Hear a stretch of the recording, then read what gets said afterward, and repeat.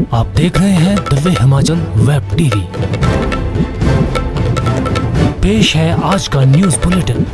आइए सबसे पहले आपको लेकर चलते हैं आज के मुख्य समाचारों की ओर।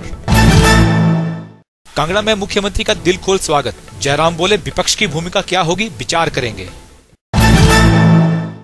मंडी के समेला में सड़क किनारे खड़ी हिमाचल पथ परिवहन निगम की बस जलकर राख। कपिल शर्मा होंगे DIG central range Mandi. Sanjeev Gandhi commandant जुमगा लगाए। सांसद अनुराग ठाकुर बोले 28 फरवरी तक दौलतपुर पहुंचेगी ट्रेन। रचनात्मक विपक्ष की भूमिका निभाएगी कांग्रेस। नेता प्रतिपक्ष मुकेश अग्निहोत्री बोले, सरकार के हर फैसले पर रहेगी नज़र। कसौली में शिकारी खुद हुआ शिकार, साथी की गोली लगने से मौत। आने के अंकुश कटोच बने नेशनल वॉलीबॉल टीम के कोच। हिमाचल में ठंड का कहर जारी मनाली समेत सोलन बचौरा का पारा शून्य से नीचे। और अब चलते हैं विस्तृत समाचारों की ओर। नई सरकार हमारे द्वार। कुछ इसी भावना के साथ जनमानस ने सोमवार को मुख्यमंत्री जयराम ठाकुर का जिला कांगड़ा में पहली बार पहुँचने पर स्वागत किया। गगल हवाई अड्डे पर सुबह से ही लोगों की कतारें लगनी शुरू हो गई थी। उनके आने पर गगल से लेकर धर्मशाला तक कई स्वागत द्वार सजाए गए थे। मुख्यमंत्री स्वागत के जोश में इतने उत्साहित हुए कि स्वयं नाटी डालते नज़र आए। उनके साथ सारा मंत्रिमंडल व नए विधायक भी धर्मशाला पहुँचे। मंगलवार को नए विधायक विधानसभा तपोवन में शपथ लेंगे। गगल में जब सीएम से पूछा गया कि आपकी सरकार का दो तिहाई बहुमत है और विपक्ष के पास एक तिहाई बहुमत भी नहीं है तो क्या आप विपक्ष के नेता को मान्यता देंगे? तो मुख्यमंत्री ने कहा कि वह इस पर विचार करेंगे और नियमों के अनुसार ही फैसला करेंगे। सर विपक्ष विपक्ष के पास एक तिहाई बहुमत नहीं है सर तो क्या आप उनको मान्यता देंगे नेता प्रतिपक्ष की? विचार करें इसमें नियम के अनुसार क्या बनता है उस पर ही निर्णय करें। सरकाघाट की तहसील बलदवाड़ा के समेला बाज़ार में सड़क के किनारे खड़ी सरकारी बस जलकर राख हो गई। बस सुंदरनगर डिपो की थी। आग रविवार रात 10 बजे के करीब लगी। ड्राइवर अमरजीत सिंह व परिचालक करम सिंह बस से करीब 100 मीटर दूरी पर सो रहे थे। हालाँकि दमकल कर्मी मौके पर पहुँच गए थे, लेकिन तब तक बस जलकर राख हो चुकी थी। आर उत्तम चंद ने बताया की बस की कीमत 25 लाख के करीब है। पुलिस ने मामला दर्ज कर आग लगने के कारणों की छानबीन शुरू कर दी है। राज्य सरकार ने सिविल सर्विस बोर्ड की सिफारिशों पर कपिल शर्मा को डीआईजी सेंट्रल रेंज मंडी लगाया है। वहीं संजीव गांधी को एसपी ऊना से बदलकर जुन्गा बटालियन में कमांडेंट के पद पर तैनाती दी है। सांसद अनुराग ठाकुर ने कहा है कि 28 फरवरी तक ट्रेन को दौलतपुर चौक तक पहुँचा दिया जाएगा।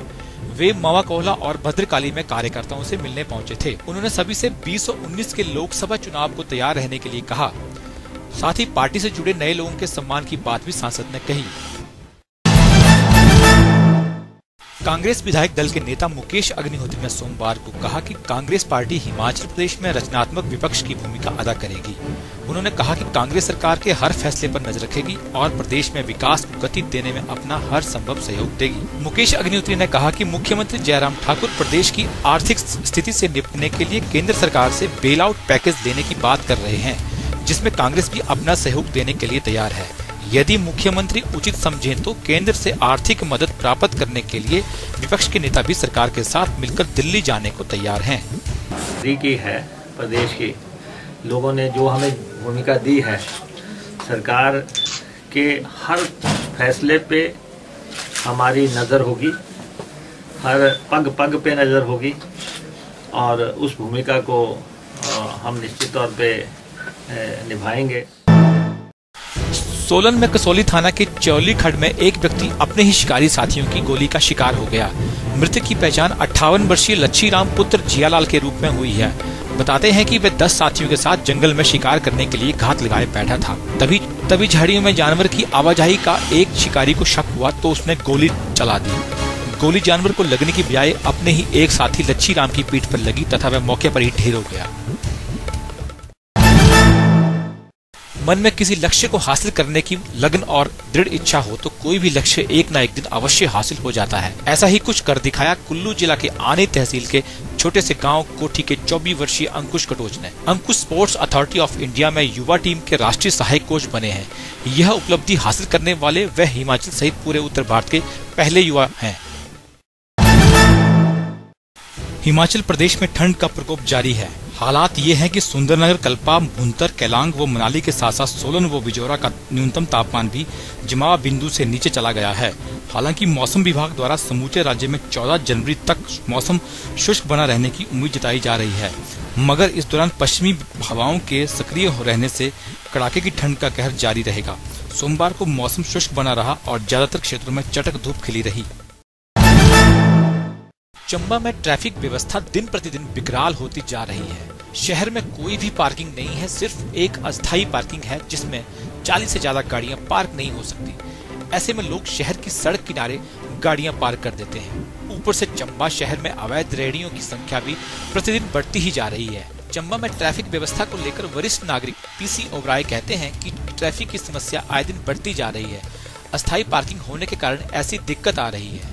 हमारे यहाँ सबसे ज़्यादा जो प्रॉब्लम आ रही है, वो पार्किंग की है।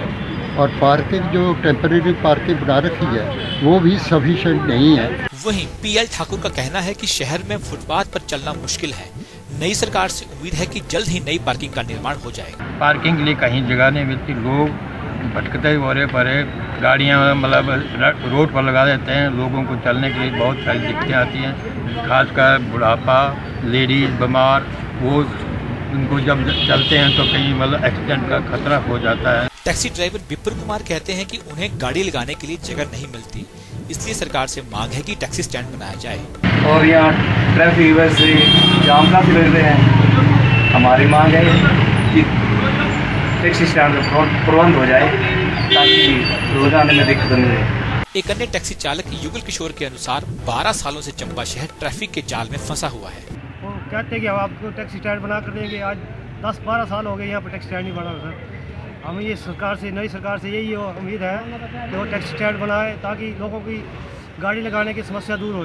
ट्रैफ़िक की समस्या को लेकर डीएसपी जितेंद्र चौधरी कहते हैं कि ट्रैफ़िक सुधार के लिए प्रयास लगातार जारी है। बहुमंजिला पार्किंग का प्रस्ताव सरकार को भेजा गया है। तो ट्रैफ़िक व्यवस्था को सुचारू रूप से चलाने के लिए हमें पार्किंग स्थल को विकसित करना ज़रूरी है इसका प्रशासन से पत्राचार भी किया गया है और शहर के अंदर कोई व्यवस्था पार्किंग की हो सके, इसके लिए प्रयासरत है।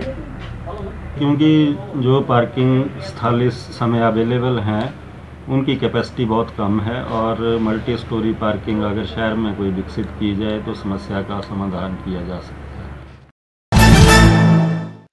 कालका शिमला रेलवे ट्रैक पर स्थित बड़ोग रेलवे स्टेशन का नाम कर्नल बड़ोग के नाम पर रखा गया है। बात अठारह सौ अठानवे की है। इस दौरान कालका शिमला रेल ट्रैक का कार्य प्रगति पर था। बड़ोग में सुरंग बनाए जाने का जिम्मा ब्रिटिश सरकार ने कर्नल बड़ोग को सौंपा। करीब दो वर्ष के बाद जब काम अंतिम चरण में था तो पता चला कि सुरंग के दोनों छोर नहीं मिल रहे हैं। ब्रिटिश सरकार ने कर्नल बड़ोग को एक रुपए का जुर्माना लगा दिया, जो वर्तमान करेंसी के अनुसार लगभग पंद्रह सौ रूपए के बराबर है। कर्नल बड़ोग इस घटना से काफ़ी शर्मिंदा हुए तथा उन्होंने अपने आप को गोली मार ली। सन 1900 में जब कर्नल बड़ोग सुरंग बनाने में विफल रहे तो इस काम का जिम्मा ब्रिटिश सरकार ने एच एस हिरिंगटन को दिया था। उन्होंने स्थानीय संत बाबा भलकू की मदद से वर्ष 1903 में सुरंग का काम पूरा किया। सुरंग की लंबाई 1143 मीटर है तथा उस समय इसे बनाए जाने की लागत आठ लाख चालीस हज़ार रूपए आई थी। रेलवे स्टेशन का निर्माण ब्रिटिश सरकार ने वर्ष 1903 में पूरा किया था। नवंबर 1903 में यहाँ पर पहली रेल यात्रियों को लेकर पहुँची थी। शुरुआती दो वर्षों तक भारतीय यात्रियों को इस रेल में यात्रा किए जाने की अनुमति नहीं थी। लेकिन वर्ष 1905 में भारतीयों के लिए भी ये यात्रा शुरू कर दी गई। रेलवे स्टेशन की खास बात ये भी है कि यहाँ पर हिंदू, मुस्लिम और ब्रिटिश अधिकारियों के लिए अलग अलग रेस्ट हाउस हुआ करते थे, जो आज भी मौजूद हैं। हिंदू मुस्लिम के लिए कैंटीन भी अलग अलग थी। वर्ष अठारह में जब भारत की ग्रीष्मकालीन राजधानी शिमला को बनाया गया तो इसके लिए कालका शिमला रेलवे ट्रैक का निर्माण किया गया। भारत की राजधानी कलकत्ता होती थी। जब शिमला ग्रीष्मकालीन राजधानी बनी तो बड़ोग रेलवे स्टेशन ब्रिटिश अधिकारियों की पहली पसंद हुआ करता था। सरकार के मंत्री और वाइस राय स्तर के अधिकारी यहाँ पर रेस्ट हाउस में रुकते थे। दीवान चंद शर्मा इस क्षेत्र के एकमात्र ऐसे व्यक्ति हैं जो बीते 60 वर्षों से बड़ोग रेलवे स्टेशन पर कैंटीन चला रहे हैं। बड़ोग रेलवे स्टेशन से कई प्रकार की महत्वपूर्ण जानकारी इनके पास हैं। तो आइए आज हम इनसे बातचीत करेंगे। शर्मा जी हाँ जी। आप हमारे दर्शकों को बताएँगे कि कितने वर्षों से आप यहाँ कैंटीन चला रहे हैं? हम साठ साल से चला रहे हैं ये रेलवे स्टेशन ब्लॉक से। पचासी साल की उम्र होगी मेरी। बिल्डिंग वही है जो पहले अंग्रेजा के टाइम पे थी। नई कोई चीज़ बनी नहीं। वही चीज़ है। अंग्रेजा के ऊपर स्पेंसर होया करता था। एक होटल अपने मुसलमाना का, एक हिंदुआ का। दो होटल थे। दुकाना चार हुआ थी जी। दो मुसलमाना की दो हिंदुआ की हम हिंदू पूरी कहे थे, वो मुसलमान पूरी कहे थे। और शाम के टाइम यहाँ पेड़ा, खोआ, जलेबी बने करती थी। आज के लिए इतना ही। मिलते हैं अगली कहानी के साथ। आज के बुलेटिन में बस इतना ही। देखते रहिए, पढ़ते रहिए दिव्य हिमाचल।